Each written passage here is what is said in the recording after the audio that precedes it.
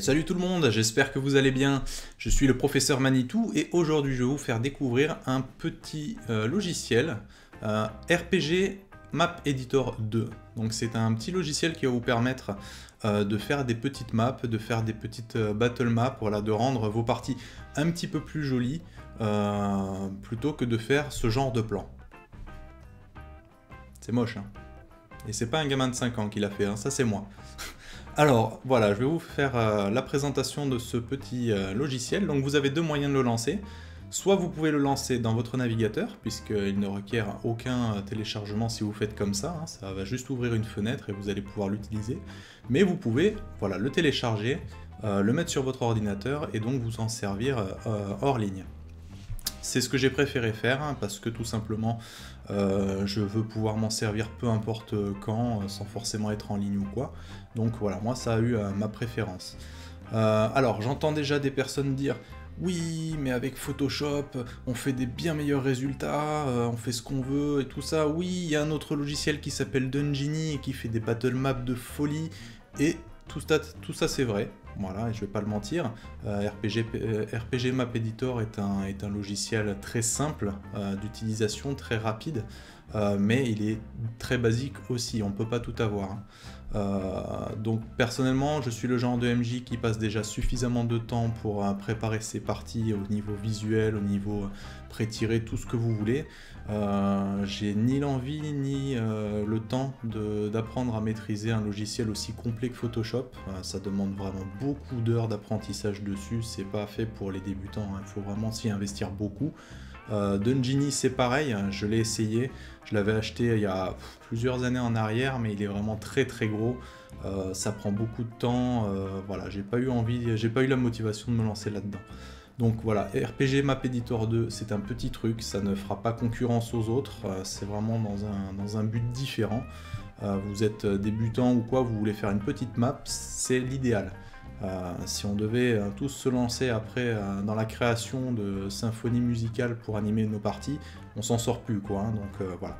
RPG Map Editor 2. Donc on va se retrouver dans quelques instants une fois que j'aurai lancé le logiciel on se retrouve sur euh, le logiciel en question. Donc la première chose à faire, euh, c'est d'aller dans Nouvelle carte. Vous faites Nouvelle carte et vous allez choisir comment travailler. Donc vous avez soit euh, des petites cartes, vous voyez 20 par, 20 par 20, donc ce sont des cases, comme on peut voir ici, 20 par 20 cases, toute petite map. moyen 40 par 40 ou très large 80 par 80. Moi je vais partir sur du moyen. La deuxième euh, chose à prendre en compte, et c'est assez déterminant pour la suite, c'est que vous avez deux façons de créer votre map. Soit vous remplissez votre carte de murs, donc ça veut dire que toute la carte est un mur, et euh, quand vous allez vouloir faire un couloir, vous allez euh, devoir retirer des morceaux de mur, ça va générer vos couloirs, par exemple comme ceci. clac, on, on, va enlever du mur. Vous voyez, ça a creusé, ça a enlevé du mur. D'accord Donc après, vous faites euh, vos, vos, trucs comme vous voulez. Clac. Voilà. Personnellement, je n'aime pas. Moi, je préfère quand euh, il n'y a aucun mur sur la carte. Donc, nouvelle carte, 40 par 40. Je fais carte vide. Euh, on, reste, on va prendre vieux parchemin hein, pour faire un petit peu médiéval, hein, puisqu'on va, on va essayer de faire une auberge tous ensemble. Et on fait créer une nouvelle carte. Ma carte est vide, donc il n'y a plus de mur, il n'y a rien du tout. Donc on part de zéro. Euh, avant de commencer, je vais vous expliquer vraiment euh, ce que l'aspect de la carte. Quand on clique dessus, l'aspect de la carte, ça représente l'ensemble de tout votre travail. Euh, on retrouvera beaucoup de, règles, enfin de réglages que vous avez choisis dans Nouvelle Carte. Vous voyez ici, dans l'apparence, vous pouvez avoir noir et blanc, vieux parchemin, plan technique, sombre, etc. Tout ça, on le retrouve dans l'aspect de la carte. Il suffit d'aller dans Réglages de base, vous cliquez ici, et vous avez voilà, noir et blanc, plan technique, sombre, etc. Donc on reste sur vieux parchemin.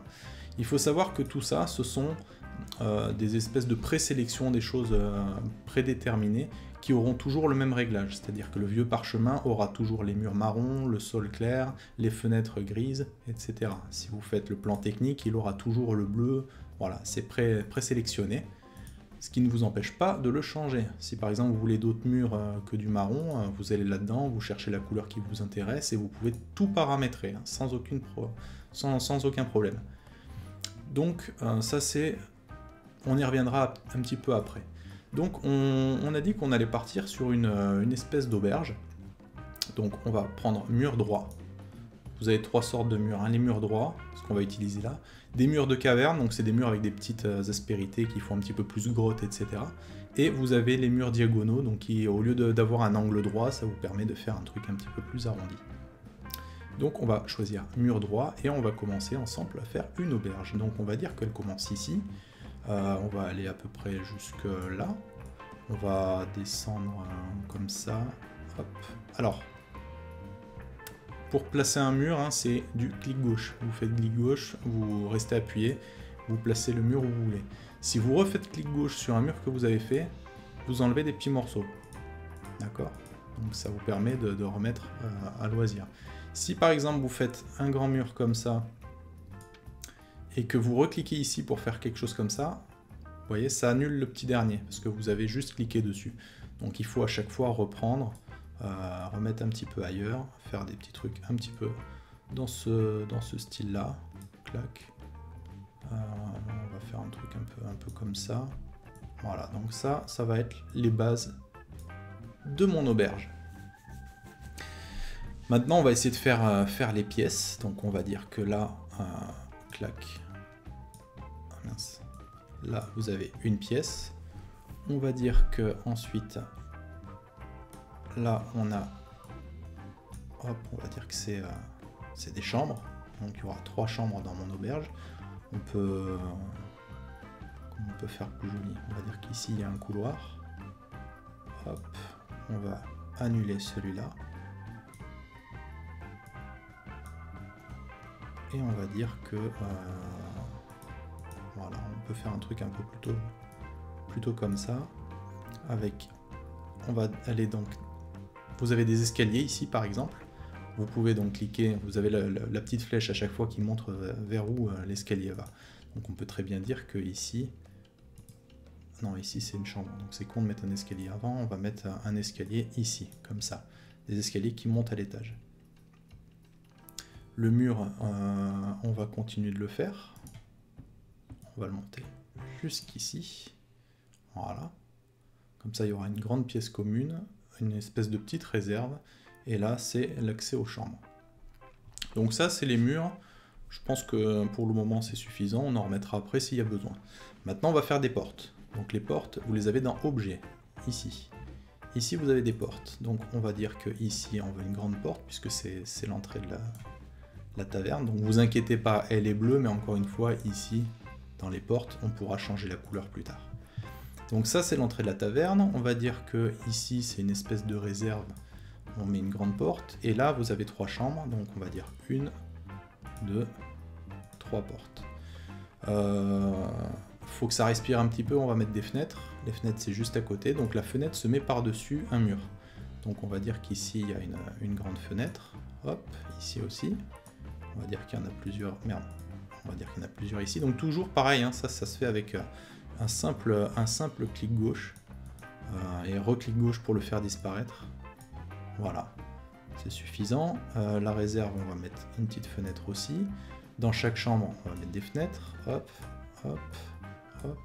Et ici, pour que la lumière du jour traverse, une petite fenêtre. Voilà. On a les bases de notre auberge, c'est très bien. On peut même essayer de mettre un petit, un petit mur ici pour, euh, camoufler l'escalier, ça fait un petit peu plus élégant. Euh, voilà, c'est une auberge. Moi personnellement, j'aime pas trop les petits carrés. Donc pour en virer les petits carrés, vous allez dans l'aspect de la carte, vous descendez et vous avez normalement quelque part euh, ici grille désactivée. Donc ça c'est le format de votre carte. Vous avez un gris comme là, vous pouvez le mettre en damier, vous pouvez le mettre en pointillé. À chaque fois, vous avez l'intensité, donc là c'est faible, vous voyez, ça apparaît peu. Ici c'est moyen, élevé et très élevé. Voilà. Personnellement, voilà, moi je, vous pouvez changer la couleur, mettre du blanc, du gris, ce que vous voulez. Personnellement, voilà, moi je n'aime pas, donc euh, j'enlève la grille. On reviendra sur le brouillard et sur les couleurs après. Donc ça, c'est les fondations de mon auberge. Mon auberge, euh, j'ai pas forcément envie qu'elle soit sur de la terre battue. Donc on va mettre un petit parquet très élégant. Donc vous restez appuyé et vous couvrez hein, voilà, toute, euh, toute la surface que vous voulez mettre. Vous allez voir que voilà, ça s'adapte exactement à votre projet. Voilà. Donc là c'est une espèce de... Voilà, on va dire que c'est du bois, hein, c'est du plancher. Vous pouvez zoomer, dézoomer avec la, molette de votre souris et ici ajuster pour avoir une vision d'ensemble. Donc ça commence à prendre forme. On va s'occuper un petit peu de l'extérieur, donc on va dire que euh, pour aller dans mon auberge, il y a un petit chemin comme ça. Donc les joueurs vont arriver par ici. Et tout autour, on va dire que c'est en pleine, euh, c'est dans un petit bois. Euh, on veut, voilà, que ce soit un petit peu, un petit peu verdoyant. Hop, hop, hop. Vous voyez que c'est quand même assez, assez rapide. Hein je me suis raté. Là aussi. En fait, si vous recliquez sur un endroit où vous avez déjà fait quelque chose, ça va juste vous enlever euh, voilà, votre projet. Vous voyez, là, j'ai un petit peu dépassé. On va remettre du sol. Clac, clac. Voilà, vous avez votre, votre jardin, vous avez votre auberge. Le jardin, vous avez des petites plantes ici, arbres, buissons. Donc on va dire qu'il euh, y a un gros arbre ici. Hop, il y en a un gros ici. Euh, ici, on peut en mettre un petit peu euh, comme ça. On peut mettre des petits buissons aussi, genre quelque chose comme ça. Ça fait très, très mignon. On peut même imaginer, pourquoi pas, que un truc comme ça. Hop, clac.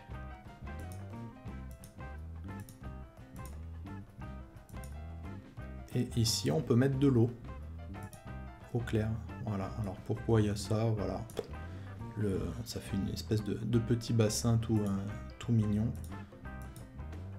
Hop. Ouais. vous pouvez faire ça en plus grand. Euh, vous pouvez, euh, si vous voulez, on peut, même virer.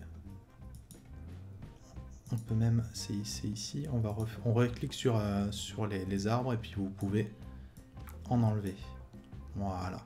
Donc vous avez vu que le sol s'est mis sous l'arbre, hein. donc il y a différentes couches aussi. Hein. Donc on va reprendre le sol, clac. Moi je trouve que c'est très mignon comme, euh, comme petit truc et j'ai envie de continuer un petit peu. Voilà, un bassin un petit peu plus euh, conséquent.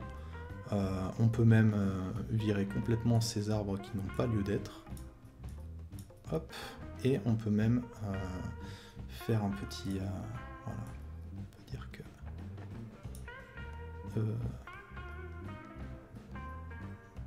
voilà, ah oui, parce que j'ai déjà, donc voilà, j'ai cliqué sur, euh, sur une partie déjà, déjà en vert.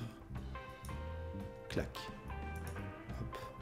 On va retirer les petits arbustes qu'il y a là. Voilà, ça fait, ça fait un petit peu plus mignon. Voilà. Euh, bref, c'est pas le tout de s'occuper de la verdure, on va peut-être meubler un petit peu notre auberge. Alors notre auberge, on peut lui mettre... Donc il n'y a pas énormément de choix au niveau des objets. Ça, vous pourrez, euh, vous pourrez utiliser par exemple Roll20 pour ajouter des tokens en faisant une recherche. Je vous montrerai à la fin de cette vidéo comment faire. Euh, vous verrez qu'on peut, on peut agrémenter bien plus facilement sa, battle map. Là, c'est vraiment un peu, un peu grossier.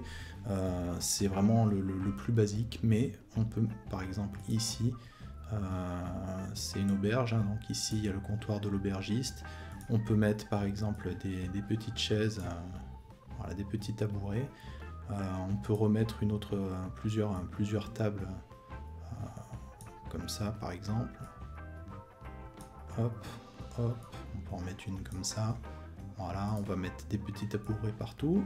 Hop, hop. Voilà.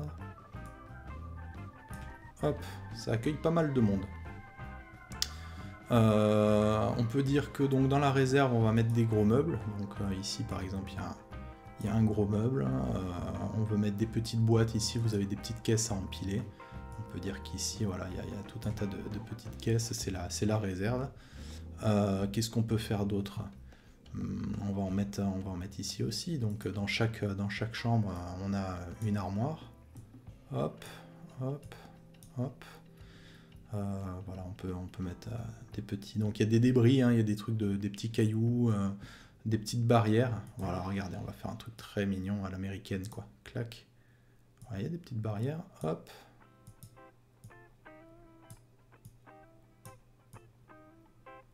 Donc bien sûr, c'est pour l'exemple, hein, c'est pas pour autant que ce sera un truc forcément utilisable, mais si vous regardez bien, ça m'a pris très peu de temps au final de faire ça. Hein. Donc euh, voilà, on peut, euh, on peut jouer un petit peu plus loin maintenant. Je vais vous montrer pour mettre des lumières. Hop, les lumières, c'est un petit peu plus particulier. On choisit lumière, il n'y a, qu'une seule sorte de lumière, mais on peut la paramétrer pour avoir une intensité différente. Par exemple, si j'ai envie d'avoir une lumière ici, je la mets là, clac, et si on reclique dessus avec le même clic gauche, ça ouvre un menu. Donc le menu explique plusieurs choses. Soit une lumière transparente, c'est-à-dire que vous avez juste la lumière mais qui ne fait aucun effet, soit vous pouvez choisir une couleur. Donc là, elle, illumine faiblement. Vous avez aussi la taille. Vous voyez, plus on met gros et plus euh, vous avez euh, une lampe tempête. Quoi, hein. Donc on va dire un petit truc un peu, un petit peu comme ça. Vous faites sauver. Et ça fait, ça fait une, petite, euh, ambiance toute mignonne. On peut recommencer là. Puisque vous avez sauvé, ça vous a sauvé en fait la lumière que vous avez choisie et ça va mettre un petit peu la même un petit peu partout. Voilà. Sachant que euh, quand vous la mettez sur un mur, vous voyez, ça vous fait une espèce de zone. C'est pas toujours intéressant si vous voulez faire des donjons, etc. Vous pouvez retourner dessus, vous voyez, ça vous fait cette petite, euh, cette petite flèche et vous pouvez, voilà, la mettre par exemple comme ça. On peut dire que ici, vous voyez, ça, ça n'illumine que l'intérieur de la, de la pièce. Idem ici, voilà. On va dire qu'ici c'est pareil hop, ça fait un peu plus joli. Euh, on va en mettre aussi dans, les chambres, il hein, n'y a pas de raison. Donc hop, on va la mettre comme ça. Hop, hop. Donc tout de suite, vous voyez, ça donne un petit peu, un petit peu de cachet, c'est toujours un petit peu plus sympa. Voilà, c'est une petite carte euh, sans prétention, assez rapide, euh, mais voilà, qui vous, évite de faire un truc tout vilain sous Paint. Comme je le disais, dans aspect de la carte, vous avez choses. Si vous vous dites, ah bah finalement j'aurais voulu que cette taverne ce soit un truc plus euh, technologique, plus contemporain, vous pouvez passer sur plan technique et on voit pas une énorme différence parce que ben, l'herbe, que ce soit médiévale ou contemporaine, de l'herbe c'est de l'herbe. Par contre voilà, ça peut vous changer un petit peu les murs, ça vous change un petit peu euh, certaines, présélections. Euh, vous pouvez avoir un truc en noir et blanc ou en plus sombre pour faire un peu vieille photo, ce genre de truc. Euh, voilà, on va rester en vieux parchemin. Par contre, moi les portes bleues, euh, j'aime pas trop. Donc on va ici et on va dire que les portes, on va dire qu'elles sont en bois. Euh, donc on peut prendre un truc un peu, je sais pas trop. on va dire un truc un peu, peut-être un peu, un peu comme ça et vous voyez que ça a changé toutes les couleurs de toutes mes portes. Ok, les barrières, pareil, elles sont en bleu, je les veux en blanc, parce que c'est des petites, euh, des petites barrières à l'américaine. Vous allez dans comme ça, et vous faites un peu plus blanc, et vous pouvez voir en cliquant ailleurs que je me suis planté, c'était les meubles. Voilà, heureusement vous cliquez sur réinitialiser, et ça vous remet les meubles comme ça l'était. Donc les barrières sont ici hop, hop, on clique ailleurs, et vous pouvez voir que mes barrières sont toutes blanches. Vous pouvez changer euh, voilà, les meubles, les débris, euh, des ombres sur les murs. Vous voyez ici, il y a une petite ombre. Donc, euh, mais si vous voulez une ombre voilà, plutôt claire, vous faites comme ça. Et vous avez l'intérieur de votre bâtiment en clair. Je n'aime pas, mais bon. Vous pouvez faire la même chose sur les plantes. Euh, vous voulez des arbres en couleur euh, blanc, un petit peu comme ça parce que c'est l'hiver. Vous voyez, vous pouvez faire des petites, euh, des petites variations de couleurs. Là, c'est plutôt le printemps. L'eau claire, voilà, elle est un peu cradingue. au contraire, ici, elle est, elle est bien chlorée. voilà, vous pouvez un peu tout changer et tout ça. Petite note aussi que j'ai oublié de vous dire. Là, vous pouvez voir que tous mes meubles, ici, ici, tout ça, tous mes meubles sont collés au mur. C'est parce qu'on a ici l'option qui est cochée. Si vous le décochez, clac, vous voyez, ça vous enlève tous les meubles du mur. Alors, selon ce que vous avez à faire, ça peut être intéressant. Personnellement, je préfère quand c'est collé au mur. Euh, le petit point faible de ce logiciel, c'est que du coup, ça applique ça à l'ensemble de la carte. On ne peut pas avoir, par exemple, ce meuble qui n'est pas collé au mur et les autres qui le sont. Voilà, c'est un petit, défaut. Euh, peut-être qu'ils auront une option à, l'avenir, je ne sais pas. Pour le moment, il faut faire avec. Euh, si vous vous dites, mince, j'aurais dû garder les, grillages et tout ça, vous pouvez remettre ici, toujours encore une fois, voilà ce que, vous préférez en termes de grille. Euh, si vous voulez utiliser les, petits carrés pour une battle map ou quoi. Moi je n'aime pas, je trouve ça moche. Euh, surtout qu'en plus si vous utilisez un logiciel comme Roll20, vous pouvez le rajouter par-dessus avec des dimensions complètement différentes. Euh, je vous parlais tout à l'heure du brouillard. On peut mettre une espèce de brouillard sur la carte pour soit s'il fait un petit peu tard, soit pour donner un aspect un petit peu mystique. vous avez ici brouillard et vous voyez que c'est voilà, la pénombre.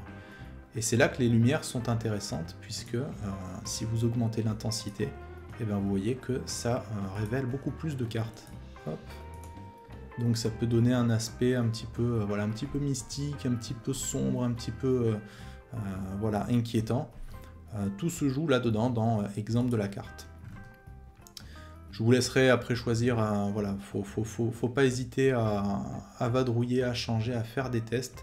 Euh, si, vous, si vous apercevez que vous êtes trompé sur quelque chose, vous avez ici, hop, pour annuler. Voyez, on revient en arrière. Si finalement ce que vous aviez fait vous convient, vous pouvez refaire dans l'autre sens jusqu'à ce que vous retrouviez euh, là où vous en étiez. Euh, voilà, moi je vous ai fait une petite carte comme ça. Bon, ça donne ce que ça donne, hein, je me suis pas foulé, ça m'a pris quoi, même pas 10 minutes montre en main. Mais vous avez ici quelques exemples qui ont été faits par, par des pros, enfin pour des, par des gens qui ont beaucoup plus de temps que moi pour euh, s'intéresser à ce genre de, de, logiciel. Et vous voyez qu'on arrive à des résultats quand même qui sont euh, très satisfaisants. Euh, un vieux donjon, vous voyez, c'est quand même très... moi je trouve ça très classe, hein, avec vraiment le, côté... voilà, le, bord de mer, une grotte, vous voyez qu'il y, a des éboulis, donc il y, a quand même pas mal de, choses à faire. Euh, vous voyez, un générateur, donc vous pouvez faire des trucs futuristes. Euh, voilà, vous en avez plein d'autres. Euh, sachant que voilà, encore une fois, ça c'est une carte qui s'est mise par-dessus votre travail. Donc si vous vous dites merde, je voulais juste regarder ça et j'ai pas eu le temps, bon, vous retournez en arrière jusqu'à ce que vous trouviez votre carte et elle est là. Vous la sauvegardez bien évidemment votre projet dans vos dossiers, ça vous permettra de retourner dessus autant que vous voulez, de continuer, de l'améliorer ou d'y modifier ce que vous voulez. On peut aussi faire des petits textes. Donc le texte, c'est ici. Vous avez plusieurs façons de faire un texte. Vous pouvez soit en simple écrire, euh, voilà, auberge. Vous cliquez ailleurs et ça vous a mis auberge en tout petit ici que vous pouvez déplacer après n'importe où. Bon, c'est pas très joli. Vous pouvez le mettre en script, ça le fait un peu plus grand. Machine à écrire, manuscrit, techno, voilà. Donc on va, on va rester sur, sur script, on va faire un petit zoom. Vous pouvez choisir la taille. Alors, vous avez que trois solutions. Vous pouvez pas l'agrandir en fait euh, à votre convenance. C'est forcément une de ces trois tailles. On peut garder, euh, voilà, comme ça. Vous pouvez avoir une ombre ou pas. Moi, je trouve qu'en contour, ça fait un petit peu plus élégant. On va peut-être même mettre un A majuscule. Euh, vous pouvez mettre une petite icône si vous voulez, un petit trésor. bon, ça, c'est, ça fait plus un petit MMO low budget. J'aime pas trop donc je n'en mets pas. Et en cliquant ailleurs, vous voyez, ça vous fait auberge. C'est très joli, vous pouvez le mettre ici en tant que titre, etc. Mais vous n'avez pas que cette façon-là, vous pouvez aussi faire une bulle flottante. Une bulle flottante, voilà, c'est un endroit que vous allez indiquer sur la map avec un trait. Donc effectivement, là, on voit que c'est une auberge. Euh, mais ça pourrait être, par exemple, euh, si vous jouez à une ambiance un petit peu plus futuriste, on peut très bien dire que euh, vous allez désigner une porte et que la combinaison de cette porte c'est 1, 2, 3, 4, 5. Voilà, il y a plein de, façons de l'utiliser différentes. Vous pouvez aussi faire une espèce de légende. Vous voyez, ici il y a le numéro 1, vous avez la légende ici qui vous dit 1 c'est l'auberge. Euh, ici on peut faire la même chose avec les chambres, le jardin, etc. Donc vous avez une, légende plus ou moins, plus ou moins grande. Et euh, ça donne, euh, voilà, comme, on l'a vu ici, vous voyez, vous avez le nom du truc, les différentes... Ouais. ici on voit qu'il y a une potion de vie, ici il y a des, pièces d'or, donc ça vous donne plusieurs, plusieurs choses. Voilà, et c'est une petite map qui m'a pris quoi Quelques minutes à peine à mettre. Donc c'est très intéressant. Qu'est-ce que je peux vous dire de plus Rien, si ce n'est que personnellement, voilà, moi j'ai fait celle-ci pour, euh, pour l'un de mes OS qui m'a bien dépanné. Alors c'est pas un truc époustouflant, c'est pas un truc euh, super claquant comme Photoshop ou Dungini peut proposer, mais je trouve que euh, une map comme ça qui avec un ami à moi lui a pris même pas 9 minutes, c'est très satisfaisant. Alors une fois que votre projet est terminé, vous pouvez aller ici exporter l'image. vous pouvez le faire en JPEG ou en PNG. Vous pouvez montrer ou pas les textes que vous avez mis. Donc ça c'est pratique si vous êtes, si MJ et que vous voulez avoir deux versions de votre carte, une avec les infos et une sans les infos. Vous pouvez l'enregistrer en deux fois, une avec les textes et l'autre sans les textes. Euh, taille de l'image, vous pouvez choisir si vous la voulez plus grande ou quoi. Moi je trouve que 100% c'est suffisamment. Et vous faites exporter l'image. Voilà, on se retrouve donc sur Roll20. Euh, j'ai exporté mon image. Euh, et vous retrouvez Ombre Glisse donc dans sa taverne euh, préférée. Donc vous voyez, le, rendu est quand même très correct. J'avais même oublié d'enlever les pièges du précédent donjon. maintenant voilà, vous pouvez utiliser ici Roll20 pour chercher plus d'images pour meubler. Donc admettons on va mettre des lits, on peut mettre bed en anglais. Qu'est-ce que ça nous propose Voilà, parfait, vous voyez, vous avez différents, différents lits que vous pouvez ajouter plutôt ici. On va le mettre. On va le mettre dans l'autre sens. Comme ça. Hop. On va le coller. Admettons. Hop. Comme ça. On va le copier. Faire la même chose là. Voilà, ça commence à donner un petit peu plus de, un petit peu plus de look à votre, à votre auberge. Euh, vous pouvez rajouter des petites lumières, mais vous n'aurez pas l'effet euh, l'effet comme ici, mais ça vous permet d'avoir des... Euh, qu'est-ce qu'on peut mettre? Qu'est-ce qu'on a? Il n'y a pas grand-chose.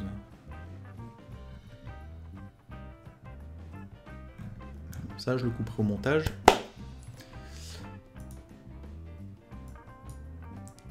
Si vous voulez, vous pouvez rajouter des chevaux, hein, puisque euh, Ombreglisse n'est pas venu à pince, hein, il est venu avec un cheval. Donc son cheval, il est dehors. Voilà il l'a garé, euh, il l'a garé ici. Hop. Donc là, ça me fait penser que j'aurais pu, effectivement, pour ajouter des détails, mettre une espèce d'abreuvoir euh, pour les chevaux, etc. Voilà, vous pouvez agrémenter, mettre plein d'objets, tout est gratuit, il suffit juste de taper le, mot ici. Et voilà, ça vous donne quand même un résultat qui est beaucoup plus sympa que si vous aviez fait vous-même à la main un vieux carré sous Paint. Voilà, ça n'a pas la même classe effectivement, voilà, il y, a des, tavernes qui seront beaucoup plus jolies et faites par des professionnels que vous pouvez directement importer sur Roll20. Mais euh, voilà, si vous avez besoin d'un truc très rapide, si vous avez quelques minutes devant vous et que vous voulez vraiment faire un truc un petit peu plus joli, je trouve que euh, voilà, RPG Map Editor 2 est une très très bonne alternative. Voilà, j'espère que ce petit tuto vous a plu, euh, j'espère qu'il vous sera utile. Merci beaucoup de nous avoir suivis. Euh, on va continuer à essayer de vous proposer différentes choses, donc n'hésitez pas à nous suivre et portez-vous bien. A bientôt